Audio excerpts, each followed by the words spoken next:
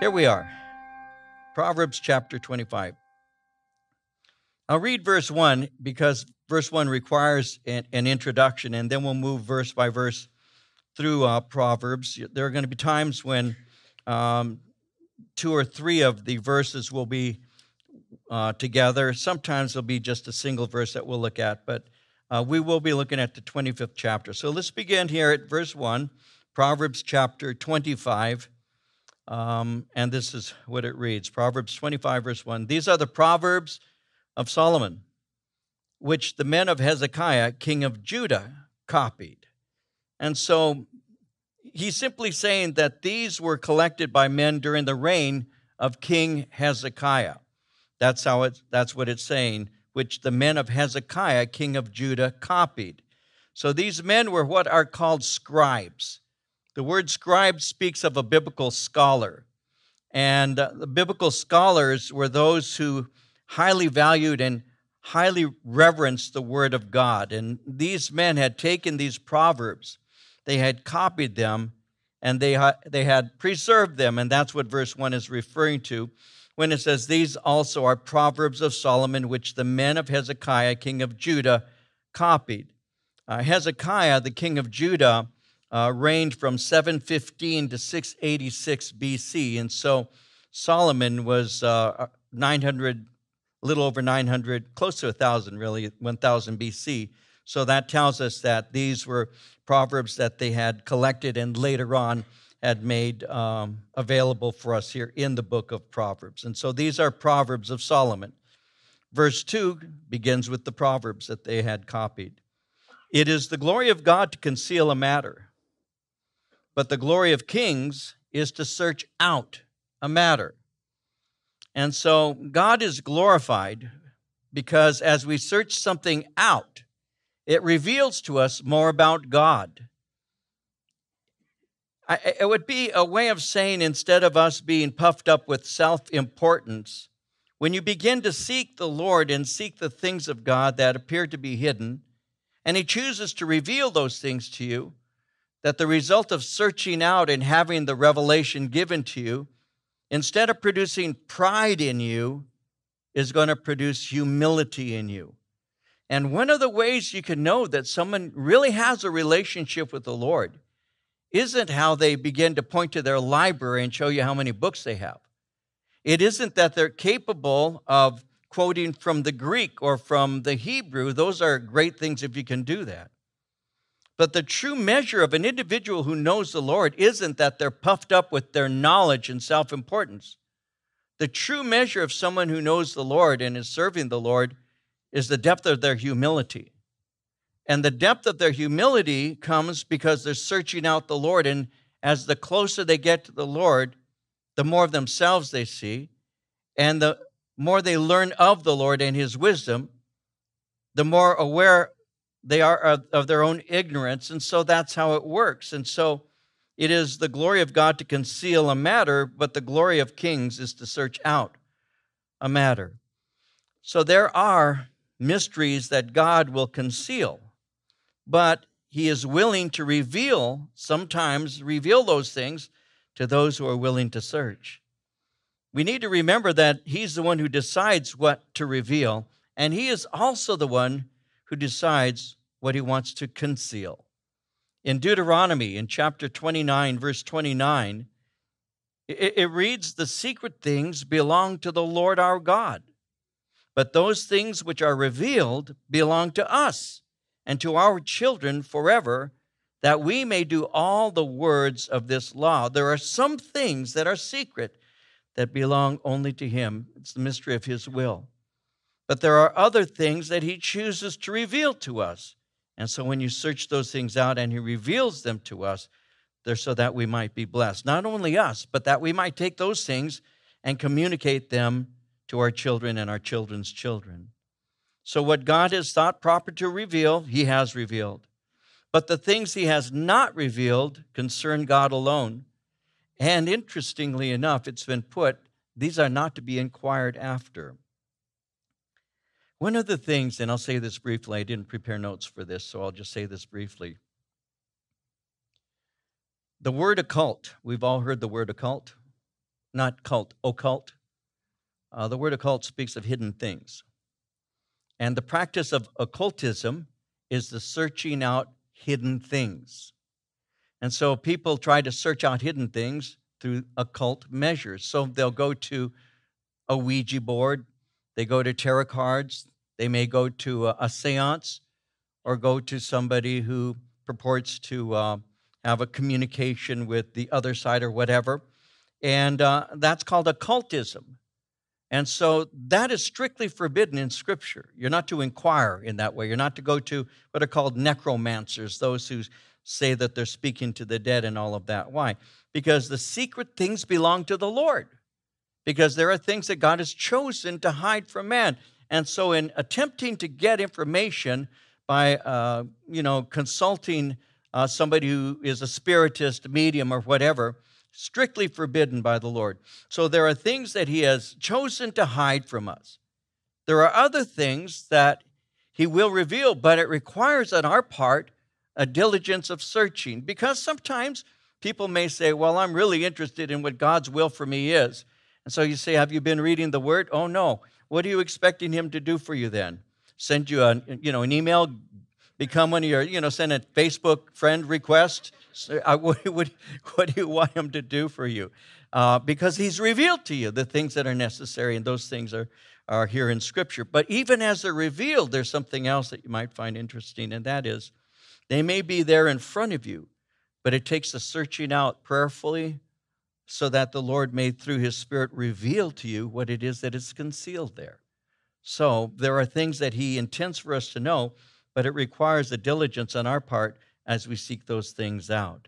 In Romans 11, verse 33, it says, Oh, the depth of the riches, both of the wisdom and knowledge of God. How unsearchable are his judgments, and his ways past finding out. And so, there are things that he will reveal, but he chooses to do that. We seek, but he reveals. Now, notice how it says again, it is the glory of kings to search out a matter. So that enables the king to judge properly. Because as he is searching out whatever this matter may be, he gets enough information to make proper judgment. So the spiritual application can be hungry seekers after the Lord will be satisfied. Jesus said it in Matthew 7, verse 7 Ask, it will be given to you. Seek, you will find. Knock, and it will be opened to you.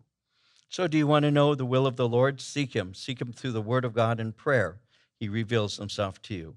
If there are things that you're wanting to know and He says it's none of your business, you'll find that out really quickly also. And He sometimes does say that, doesn't He?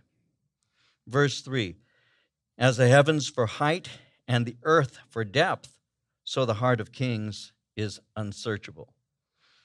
Uh, interestingly enough, often decisions are not understood by, uh, by people. In other words, why was that decision made? Often decisions are not understood by people uh, for a variety of reasons. There are people who will wonder, how come you came to that conclusion? Why did you make that decision? It happens in church, it happens in life in general. They want to know why somebody in charge or somebody has made a decision, and, and they'll wonder why those decisions were made. And they want an explanation. They'll come up and they'll say, Can you please explain to me why you did this? And there are times that, that you, you can't really give a good explanation to some. Um, there are times that a person has who's asking really isn't, isn't able to understand the reasons that will be given for those decisions being made. Um, the person who made the decision may have a greater understanding of the situation. Or they may ask, How come you decided to do this or that? And the person uh, that had made that decision uh, can't really give all the information because there are certain confidences that have been, uh, you know, that, that you have sworn yourself to, if you will. There are times, that, in other words, that people have approached me and they've said, I need to ask for some advice, but I'd like to make sure this is confidential. Can you make sure that you don't share this with anybody? You know, and there are times when you need to keep those confidences and all. And so somebody may come up to you and say, How come? Uh, well, you can't really give, you can't disclose, you can't say because you, you have a confidence that you're keeping. So there are people who will want to know why you do certain things, and all. You're not always able to give the, um, the, the answer to that. There are times when the Holy Spirit is leading you in a way that, that you couldn't explain even if you tried. You, you know that the Spirit is saying this is what you need to do. And uh, when people will say, that makes absolutely no sense. And, and you'll agree with them. You'll say, you know, yeah, that's true. But I, I know that the Spirit of the Lord is saying we need to go in this direction right now. That's what we're going to do. And then lo and behold, uh, the Lord comes through in a beautiful way, and then the people will understand why you did what you did. And so, as the heavens for height and the earth for depth, so the heart of a king is unsearchable. There are times that decisions are made that aren't understood by the people. Verse 4 Take away the dross from silver, and it will go to the silversmith for jewelry. Take away the wicked from before the king, and his throne will be established in righteousness. So, dross is impurity. So he says, take away the dross from silver. He's speaking of removing impurity. And so, on the one hand, you take away the dross from silver, it's purified, and it becomes something you can use, you know, from silver, it can become jewelry. But it's interesting how he goes on in verse 5 to say, Take away the wicked from before the king, and his throne will be established in righteousness. And in here, it's speaking about um, impurities being removed uh, from government. Boy, can we pray for that, can't we? But when impurities are removed, he's saying government can perform its duties. Remember in Romans 13, if you take notes, it's found in verses 3 and 4 of Romans 13, how the Apostle Paul said this. He said, for rulers hold no terror for those who do right, but for those who do wrong. You know, you're driving down the street, and as you're driving down the street, you may be listening to music, probably listening to one of my teachings or something. But as you're, as you're, as you're driving down the street, and you're kind of lost in whatever world it is, you're still conscious enough to drive, but you're thinking of something else, right? and you happen to look in your rearview mirror and you see a patrol car behind you, what do you do? What's the first thing you do? I heard someone say, slow down. That means you're a habitual speeder. That's one. What else do you do? Put that paper bag down under the seat. What do you do? You know, the average person does. The average person looks at their speedometer. I do. I do. And I try to keep the law, and I'm not pretending to be perfect.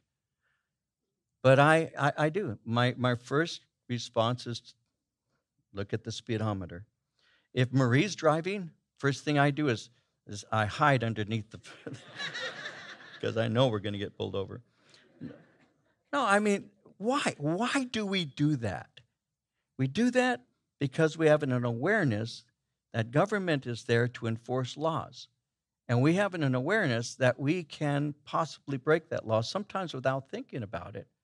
But what is it reflecting to us? It's reflecting that we have a, a, a fear of law enforcement. That's what it shows. It says here, though, rulers hold no terror for those who do right. So, one of the things that I'm trying to learn to do, and as I just admitted, you know, I do look at my speedometer or whatever, if I come to a stop sign, you know, and I roll through, and I usually don't, I have to say that. But I do make sure I stop. Why? Because I know I can get a ticket and I don't want to get a ticket. It's just what it is. And so rulers hold no terror for those who do right. So if you habitually going within the framework of the speed limit, if you're stopping and stop sign, things of that nature, there's no reason why you should be afraid. So he says they hold no terror for those who do right, but for those who do wrong. And then he asks the question Do you want to be free from fear of one who's in authority and then do what is right?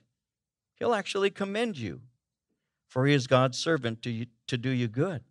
But if you do wrong, be afraid, for he doesn't bear the sword for nothing. And then this is the interesting phrase He is God's servant, an agent of wrath to bring punishment on a wrongdoer. Interesting, isn't it? And so in the scripture here, righteousness is important in government. Remove impurity, and the government will function in a better way. Verse 6 and 7 Do not exalt yourself in the presence of the king, do not stand in the place of the great, for it is better that he say to you, Come up here, than that you should be put lower in the presence of the prince whom your eyes have seen. That's very practical. Don't exalt yourself. This is a call to humility. Promoting yourself, he's saying, runs the risk of public humiliation. Now, if you've lived in the shadow of somebody, this desire to exalt yourself, this desire to be known, can be a strong temptation. You may be thinking, I've been, you know, I've been walking in this person's shadow for a long time. I really ought to do something to get some attention. They really ought to show their appreciation to me. I come in on time. I stay even late sometimes. I take, you know, 10 minute break. I take a 10 minute break, 30 minute lunch. I take a 30 minute lunch. I'm a good worker. Why don't they show any attention to me? How come these other people are always getting promotions or getting commendations and employee of the month or employee of the week and all of that? And you can get upset at that. You can get so mad that you, you want the attention. You'll do almost anything to get it. He's saying, don't exalt yourself. You need to just do your job, in other words. Instead of promoting yourself, do your job, do your work, and trust the Lord because exaltation comes from Him ultimately. Jesus used this, by the way, this, this uh, biblical concept in his own teachings in Luke chapter 14.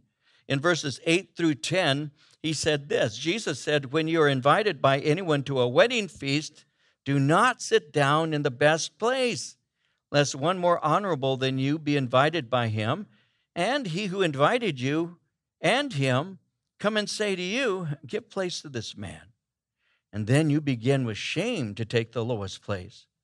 But when you're invited, go and sit down in the lowest place, so that when he who invited you comes, he may say to you, Friend, go up higher. Then you'll have glory in the presence of those who sit at the table with you. Instead of running in saying, That's the chief seat, that's where I want to sit, just, just take a lower seat. Let me see.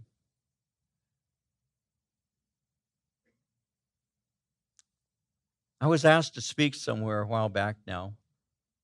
And so Marie and I went, and uh, a couple of my, my kids. And they had reserved seats there so we could sit in the front because I was going to get up and teach. And it's just easier for me to get up from the front. And that's why they do that. It's not because I'm so special, though I am. But but they'll see me. I'll be sitting in the back. Oh, no, I, so I, I come and I, I sit there, right? Marie's seated there, and my kids. And a lady comes, and she comes and begins to sit next to me, and I, I, I'm just, I'm just a guest. That's all I am. So I'm just seated there. But an usher walks up to her, she's an older lady. When I say older, she's older than me. She's an older lady. so So the usher says, I'm sorry, ma'am, but that's reserved seating. And she says, Oh. So she moves over to another seat. And he says, No, I'm sorry, this, this whole row is reserved seating. She gets mad. She's, she's mad. And she, she talks to me. She looks at me. She goes, How come this is reserved seating? I go, I don't know. Thanks for the welcome. No, I said, I don't. I said, I don't know. I, I, I don't. I said, Marie, Marie hit her. No, I, I go. Help me, mommy. You know, I, I don't know. I mean, she got really angry as if I had chosen to be seated there and then told everybody else, you can't sit here. You're not good enough to sit next to me, right? It's odd how people want to have certain seats. But what made it even more ironically, almost humor, humorous in a way, but it's really not, was she sat, they sat her directly behind us. So she's seated right behind me, and she's mad. I mean, she's muttering and sputtering as she walks away. And you could hear her as she's taking her seat. She was not a happy camper at all. She was so mad. I don't understand this. The minute the worship started, all of a sudden her hands are between Marie and me, like to the Lord, praising God. And I'm thinking, girl, you were so mad a minute ago. And here you are just taking these dirty hands to God. Unbelievable. So, in the scripture says we're to pray lifting up holy hands, and they become polluted by sin. We need to remember that.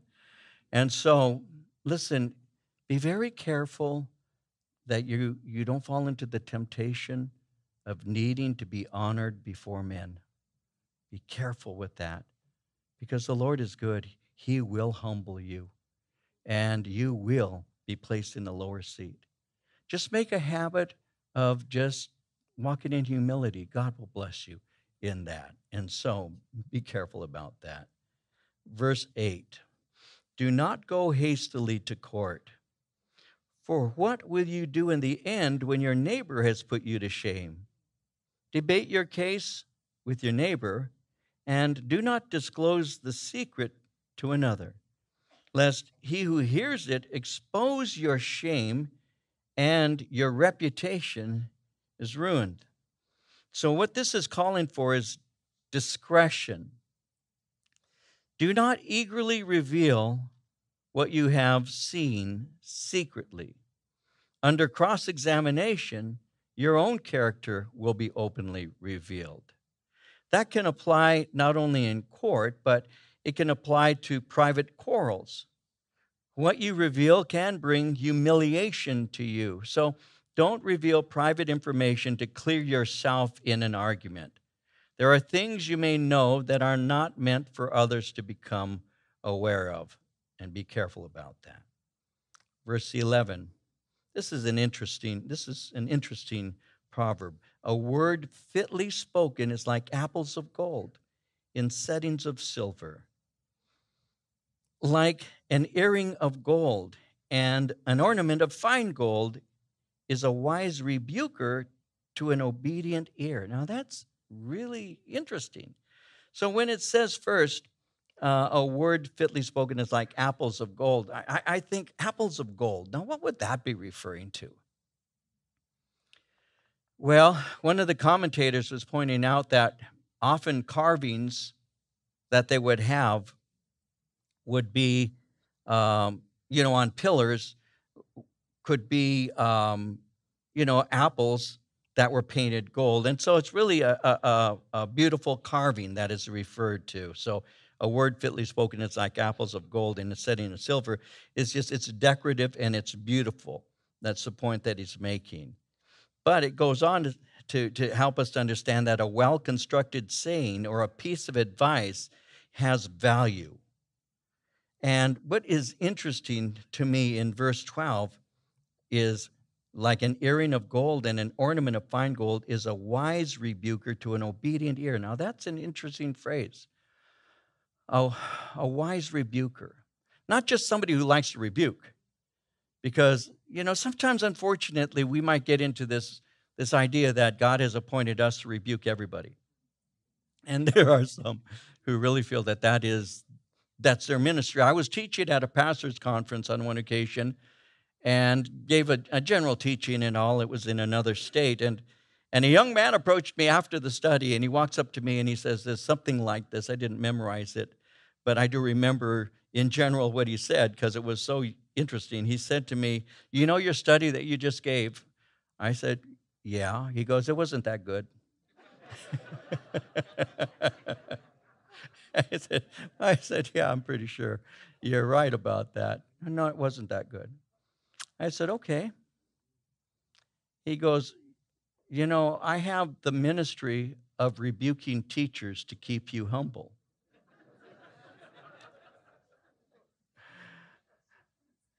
and there are people who actually think that way.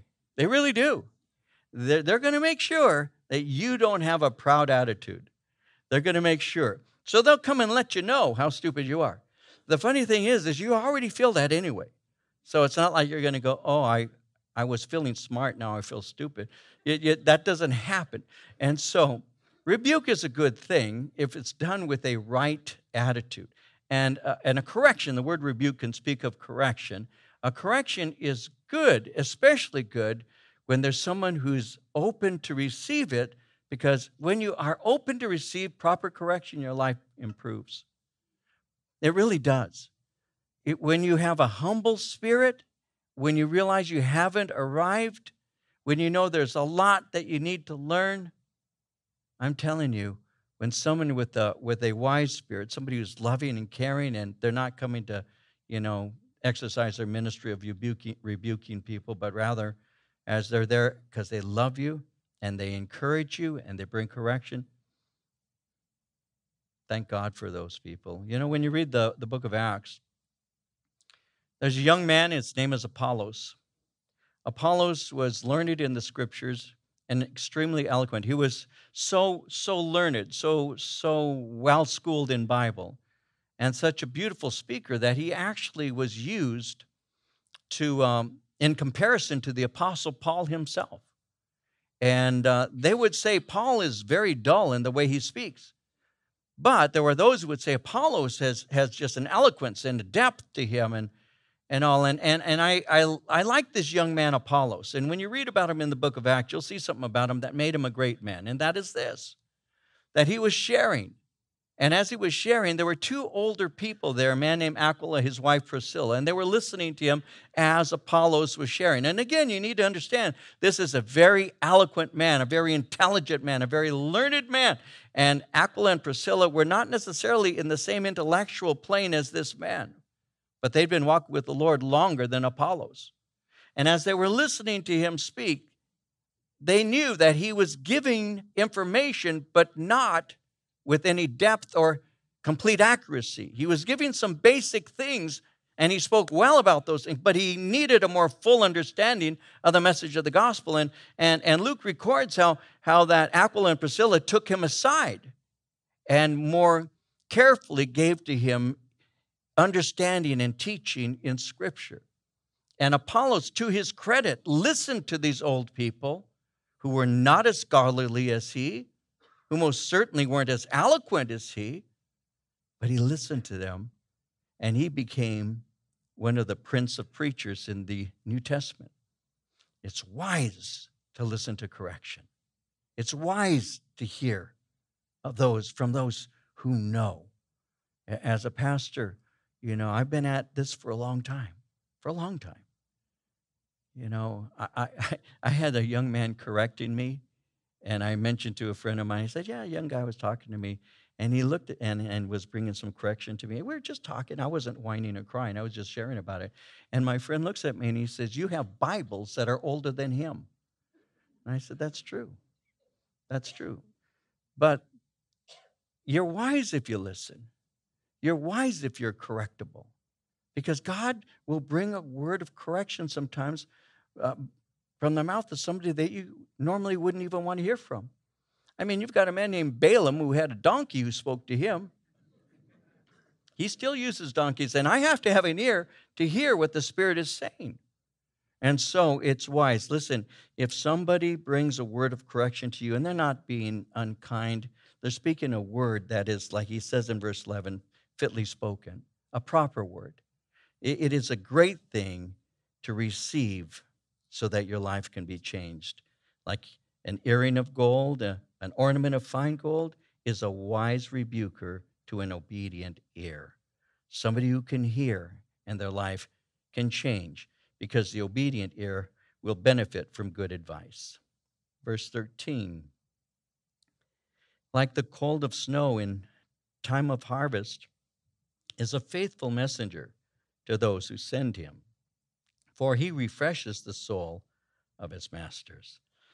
So, simply put, a faithful messenger is refreshing.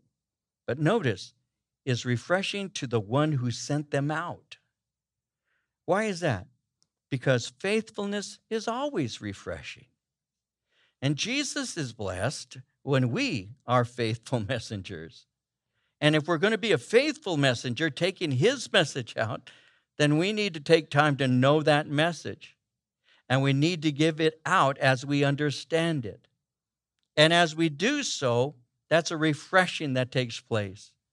Now, Paul is a good example of someone who was refreshed. He was refreshed by a young man named Timothy, and Timothy was what is called a faithful messenger. And Paul speaks of him in Philippians in chapter 2, verses 20 through 22, when he says, I have no one like minded who will sincerely care for your state.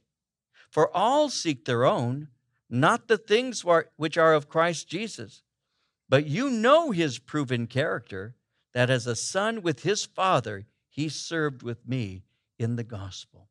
You can't imagine how refreshed the, the soul of Paul would be to know that he had a young man like Timothy taking out the message.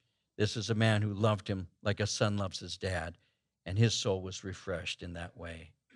Verse 14 Whoever falsely boasts of giving is like clouds and wind without rain. Well, all you need to do is, well, I was going to say go to Israel, but no, just go outside. Uh, how hot and dry our climate can be. So, in a dry climate, rain is a blessing. But sometimes when rain is needed, you can look up, look up and see dark clouds that have like it's threatening to rain and all, that actually can produce a false hope, especially if you're a farmer in need of rain. So he's saying a person who is pretending to have been generous, but in fact was not, is simply lying. And sometimes they will pretend to give to gain attention, but ultimately they disappoint because they're not really giving at all. So whoever falsely boasts of giving is like clouds and wind without rain, false promises, and only disappointment occurs. Verse 15 By long forbearance, a ruler is persuaded. A gentle tongue breaks a bone. That's an interesting phrase, isn't it? By long forbearance, a ruler is persuaded. Submission, coupled with calm and patient speech, can overcome initial opposition. You may have an idea that you're trying to present to somebody, somebody that matters to you, whether it's a boss or even in a relationship, and, and you're trying to share some things and and all because you know it'll be a good idea if it's if it's if it's embraced and all, but you have initial opposition. No, I, I'm not going to do that. There's no way I'm going to do that. Well, if you're calm and patient and all and continue to present uh, this, um, sometimes you can persuade that person you see, when it says a, a gentle tongue breaks a bone, um, that's that's a way of saying um, a, a, bone, uh, this broken bone and all. It, it's a picture of strong opposition, and so there are times when patience overcomes strong opposition. And instead of being insistent and angry and threatening, you simply calmly persuade. You calmly say, No, that this is a, a good idea. I'd like you to consider this think about it, pray about it. Let's see what the Lord says to you. But instead of getting angry and, and wanting to make your point, it's always wise to just be patient and, uh, and calm. Uh, Proverbs 15, verse 1, remember it says, A soft answer turns away wrath. Harsh word, a harsh word stirs up anger. Verse 16, Have you found honey? Yeah, she's sitting right here in front of me. No, have you? Have you found honey? Eat only as much as you need, lest you be filled with it and vomit.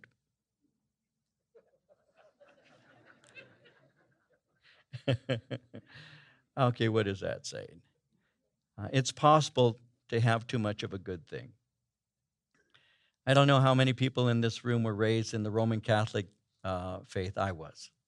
And during Lent, um, you were to give something up, and I gave up candy because you're supposed to give up something that you really like. And at that time, when I was eight years old, I liked uh, I liked my sweets and candy and all of that. So you give it up for the duration of Lent, and then finally, when Lent is over, you're able to have whatever it is that you gave up. And I still remember that I had given up candy and Lent is over and now I can eat. And my mom and my dad knew that I had given up candy for Lent. So they gave me enough to go out and buy a lot of candy. And I went and I bought all this candy and I just ate it up. All these wrappers were all over on the ground. I don't like candy anymore. I, I, eat very little candy because as I ate it, I got sick of it. I understand what this is saying here. Eat only as much as you need, lest you be filled with it and vomit. There's, there's such a thing as having too much of a good thing, in other words. So, moderation is necessary if you're going to have pleasure in life. Philippians chapter 4, verse 5 says it like this Let your moderation be known unto all men. So, moderation is a good thing. Verse 17, here's an interesting one too. Seldom set foot in your neighbor's house, lest he become weary of you and hate you. That's interesting. hey, I'm here. You doing anything? Yeah, put the, you know, put, we used to say, put the pot on, put, not the pot, but put the, we said that too, but, but coffee, put the coffee pot on. That was a phrase that was used a long time ago because that's when you used to have what they called percolators or whatever. So that was a phrase that was used. My mom would use, put the pot on, which meant she's coming over for coffee, right? It's an old saying. You know, but let's face it, you know, it's not always nice to have a neighbor who comes when they're uninvited you know you, you're doing whatever you're doing you're cleaning or relaxing or watching a program you know and then you hear a knock on the door and uh, you know the first time you go oh hi how are you are you doing anything oh, well i'm always doing something i mean come on i mean if you ask me that are you doing anything yeah i'm doing something even if i'm napping i'm doing something yeah i'm doing something but you know you're polite so you say well come on no no no no you lie no come on in you know, no, fine. Oh, you know, I don't want to bother you. I was just, they'll come in. And that's just nothing wrong with that. I mean, hi, how are you? What you up to? And this and that, right? Then they come over the next day. Hi, not doing anything?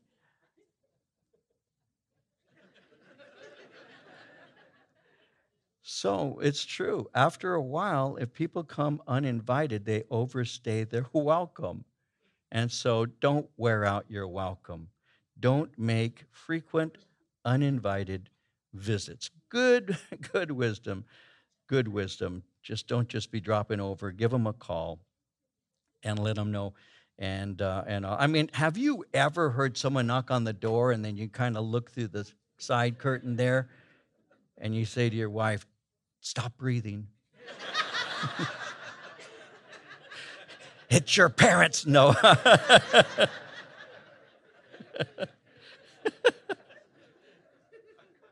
Anyway, verse 18. A man who bears false witness against his neighbor is like a club, a sword, and a sharp arrow. Interesting, false witness. Notice with me that a club, sword, and arrow are deadly weapons. So he's saying a false witness is a deadly weapon. Why? Because a false witness can cause harm, even death, to innocent people. In Exodus 20, verse 16, you shall not bear false witness against your neighbor. And it's interesting because when the word neighbor is used, a, neighbor is a person um, who is around you, whether he's a, a, a friend or even an enemy. You're not to bear false witness. Verse 19. This is another. These I like these these parables. They're very these proverbs rather. They're very um, descriptive, they're very creative. Confidence in an unfaithful man in time of trouble is like a bad tooth and a foot out of joint. We understand that to some degree, don't we? Yeah. Trusting an unreliable and faithless person is painful, is frustrating, and is fruitless. That's true. I'll be there. I promise you, I'll be there. Are you sure? I'll be there. Man, you can count on me. I got your back, man. I'll be there. And you're waiting for them. It's six o'clock. They're supposed to come and help you. It's six thirty. They haven't shown up. It's seven. They haven't shown up. It's eight. It's nine. They never show up. You call them up. Oh man, I'm sorry, bro. I was going to be there. I was going to be there, but I got hung up. What did you get hung up on, man? I was sleeping. You know. and so, trusting an unreliable and faithless person is painful. And that's the point he's making. And if there's anything we as believers ought to be, it's we ought to be faithful. Uh, Matthew 5 37, Jesus said, Let your yes be yes, your no, no. For whatever is more than these is from the evil one. Have integrity, in other words. Verse 20 Like one who takes away a garment in cold weather, and like vinegar on soda, is one who sings songs to a heavy heart. That's, well, one, these kinds of things are counterproductive.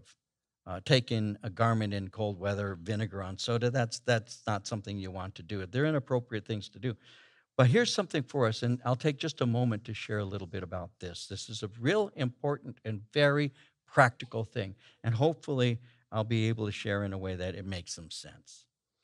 When he said, like one who takes away a garment in cold weather and like vinegar on soda, which is inappropriate, that's inappropriate, that's the point, is one who sings songs to a heavy heart. Listen, one of the things that the church doesn't do well sometimes is we don't know how to grieve with the ones who are grieving. Sometimes we don't. Sometimes we say inappropriate things. See, the word inappropriate is what is being referred to when it speaks about taking away a garment in cold weather. That's a wrong thing to do. And putting vinegar on soda, that's just not something you do. So, someone is singing songs to someone with a broken heart. I'm telling you, sometimes believers, and I and and, and they're my brothers and my sisters, and they they don't mean harm, and I know that. But sometimes there have been things that are said that were better left unsaid. A, a, a young woman is pregnant and she miscarries, and, and, and her friends or sister family, whatever, want to bring cheer to her. They want her to know they're with her, right? But I have heard it more than once where they'll say something and they're trying to cheer them up, but they'll say, Don't worry, honey, you're young, you'll get pregnant again. That's the wrong thing to say.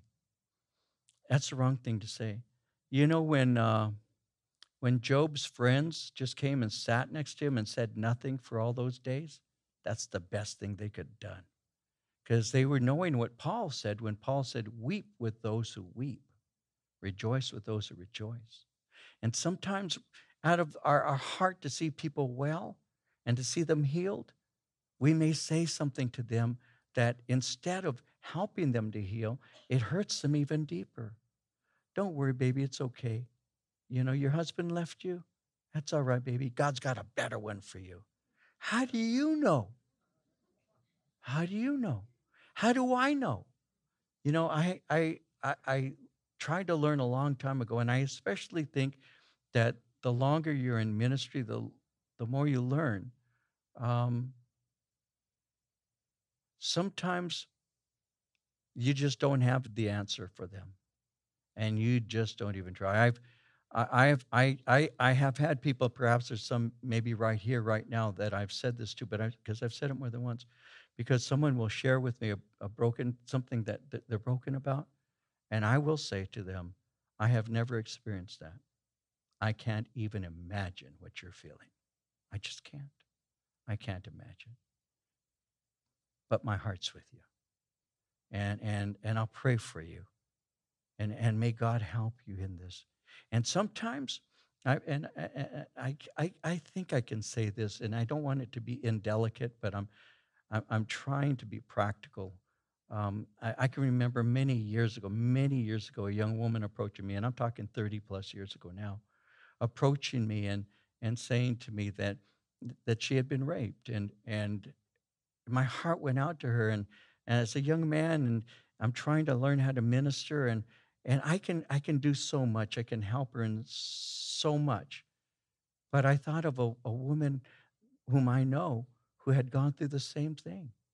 So I said to the young lady, honey, I, I, I didn't say honey, I was too young to do it then. At my age, I can say honey now. At that point, I said baby. No, I said, um, no, I said, you know, I, I, I know, I, I know somebody who understands, understands in a way that you would appreciate.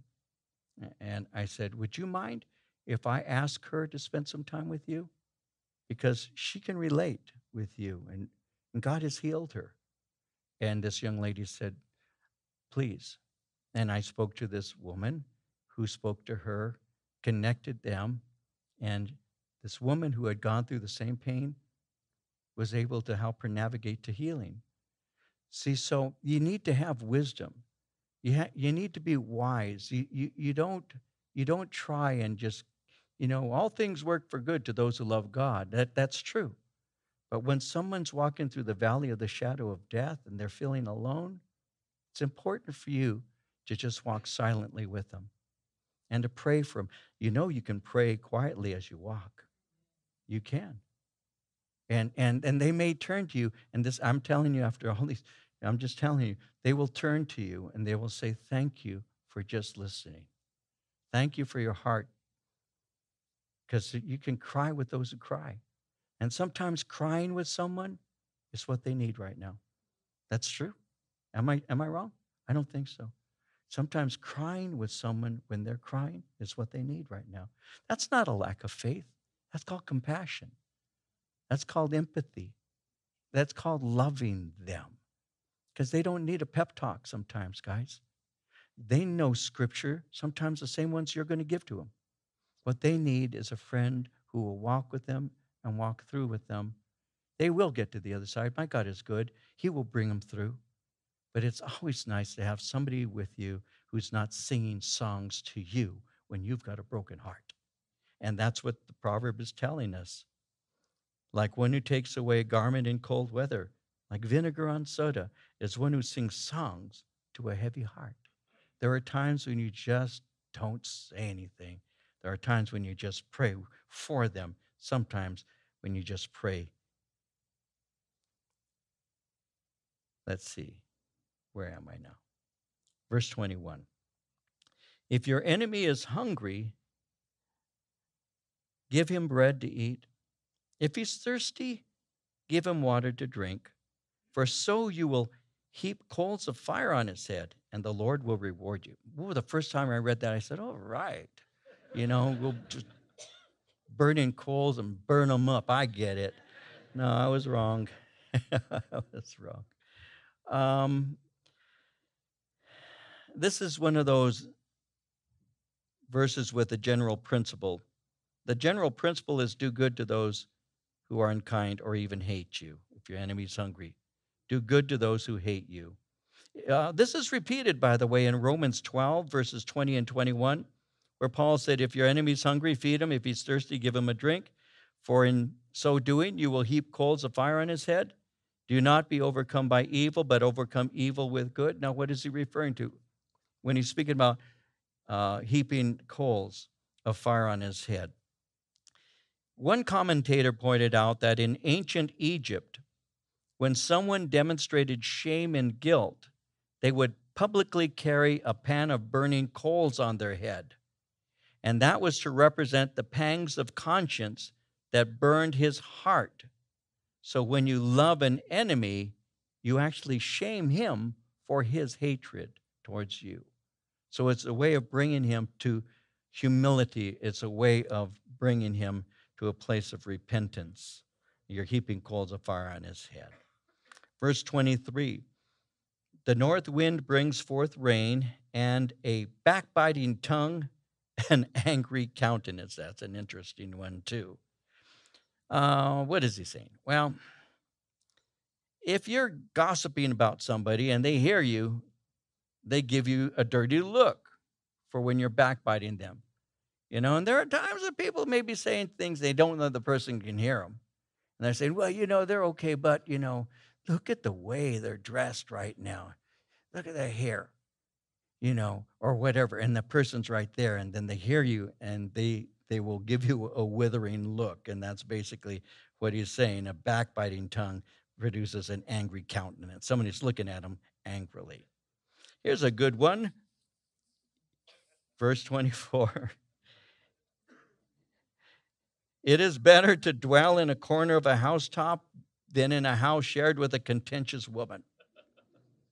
I don't have to say anything. Peaceful solitude is better than strife filled companionship. That's a gentle way to say it, isn't it? And we'll just leave it there. I've already, he, Solomon obviously had some contentious women in his life. He keeps saying the same thing over and over again.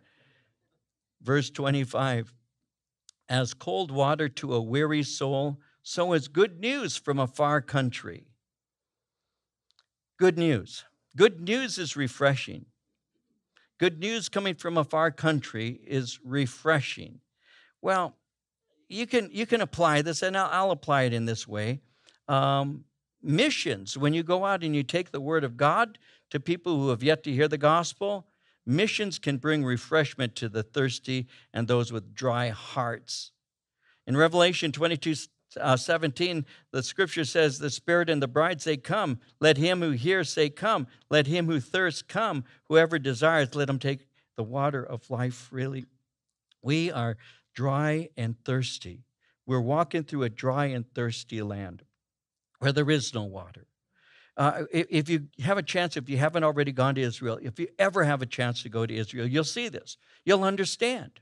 You know, I'll be honest with you. One of the reasons that I that I value trips to Israel is for so many practical reasons. And you'll read a lot of scripture that speaks about dry and thirsty lands or barren lands or wilderness. You read that a lot in scripture. And you see a lot of incidents, the, the children of Israel wandering in the wilderness, Jesus being tempted as he's in the wilderness. And we don't have a clue what the wilderness really is. Then you go to Israel and you see it. And one of the things about the, the, um, the uh, weather conditions in Israel, it's a, it is a very dry place. And so when you go to Israel, what you do is you will actually have, uh, on the bus, you'll have uh, re- refrigerator that is filled with water. And your guide will say, make sure you carry water with you wherever you go. Why? Because you will dehydrate. You will dehydrate. And me, I'm not a water drinker. I'm not somebody, my wife Marie is, I'm not a water drinker.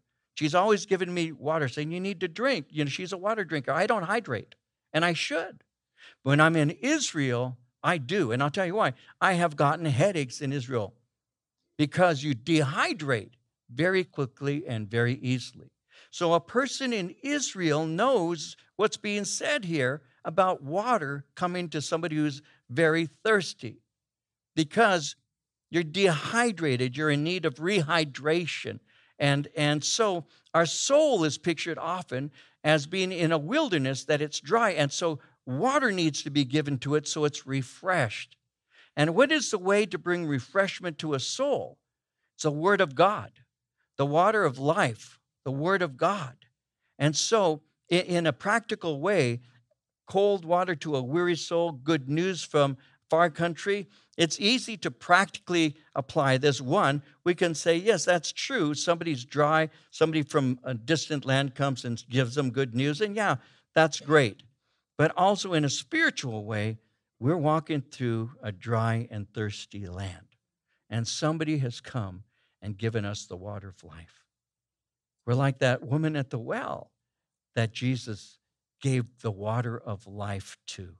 We're like those people um, at, the, uh, at the great day of the feast, as is recorded in John 7 37 through 39, where, where they're about to pour water from the pool of Siloam into the altar. And, and it's a time of celebration, and they're about to pour that water, and, and people are crying out, saying uh, to the priest, don't spill it, don't spill it. Not a drop is to be spilled as he's about to put this water in a spout that's on the side of the altar to make a water uh, offering, if you will. And, and then Jesus stands up at that moment and says, If any man thirst, let him come unto me and drink.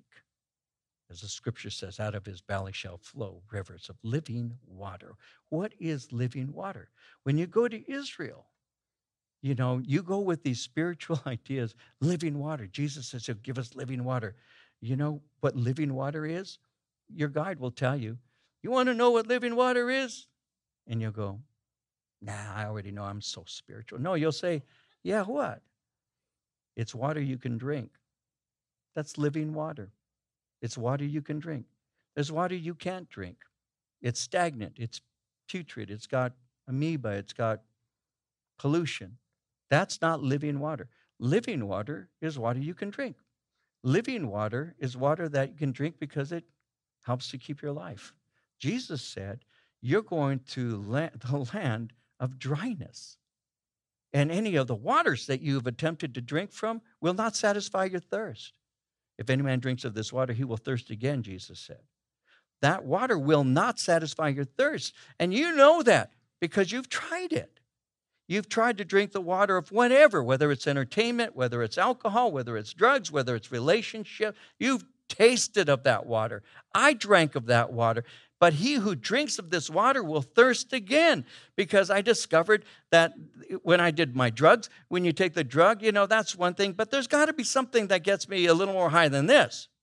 So, you know, they, they have this big argument today oh, marijuana is not a gateway drug. Yes, it is. Yes, it is. I don't know a single person, and maybe somebody in this room who used to do drugs before you got saved. Maybe, maybe you're that person I haven't met yet. I have never met anybody who only smoked pot. They have always gone from pot to something different, something else. I started with alcohol, and then I smoked pot. Then I took THC. Then I took magic mushroom. Then I took acid. I mean, you just progress. You just keep moving. Why? Because, you know, I tried that. It's okay. But I want something different. So I'll try that. That's what I'm talking about. That's the water that you get from the world. It never quenches your thirst, it never does. It only leaves you more thirsty. And then Jesus Christ gives you the water of life, and you never thirst again. I am so satisfied in Jesus Christ because he gave me water that quenched my thirst. And so, yes, cold water to a weary soul, so is good news from a far country. Because when you drink of that water, you have life. Verse 26 A righteous man who falters before the wicked is like a murky spring and a polluted well. Dirty spring, polluted well. Well, this is unforgivable in an area that requires clean drinking water. So he's saying when righteous people compromise to gain favor, it causes people to lose heart. That's true. When you have somebody that you hold in high esteem and they compromise, breaks your heart. Breaks your heart. Because let's face it, it's easy to compromise in this day and age if you think it's going to get you something you really want. So we need to hold fast to what is true and not compromise. Verse 27 again, it is not good to eat much honey, so to seek one's own glory is not glory. That's an interesting phrase.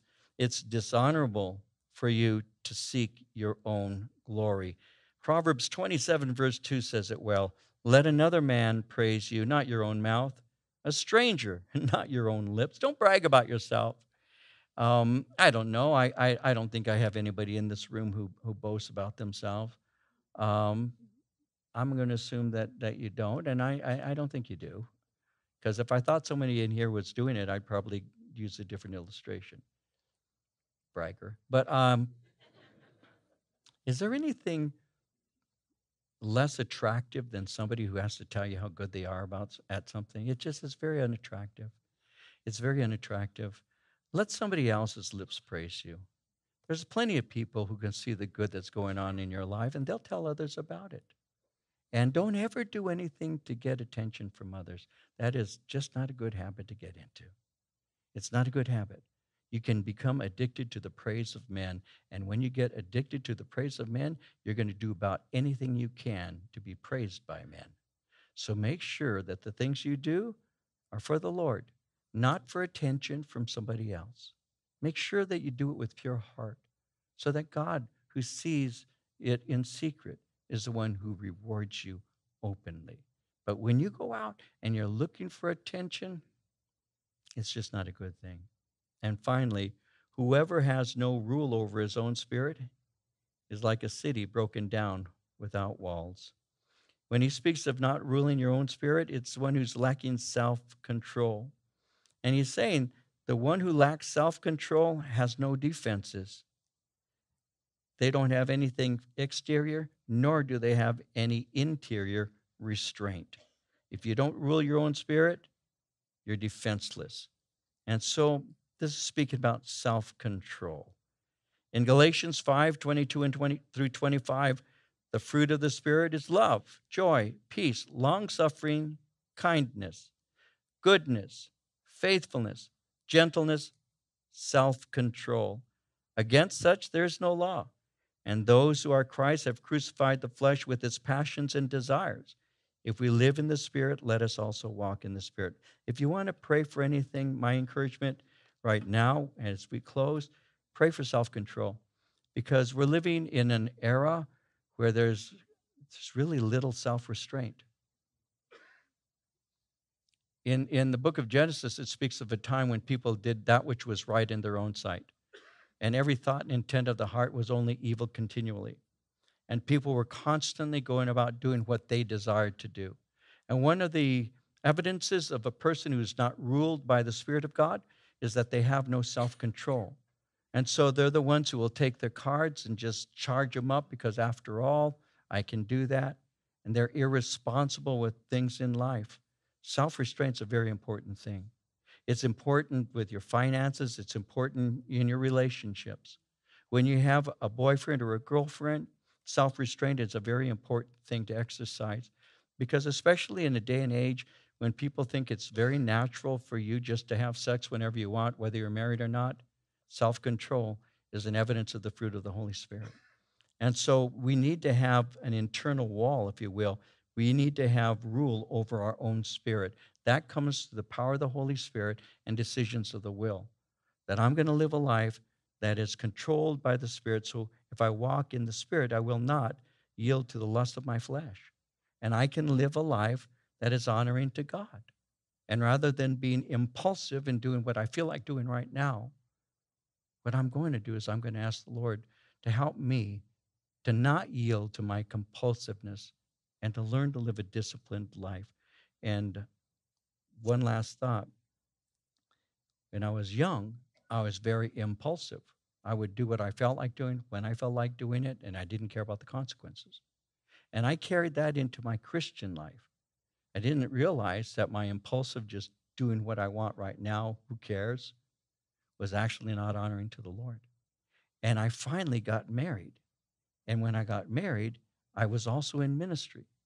And my whole life changed from being an impulsive person to a planning person because I learned that if I was always doing things by impulse, that I was going to pay the consequences later on.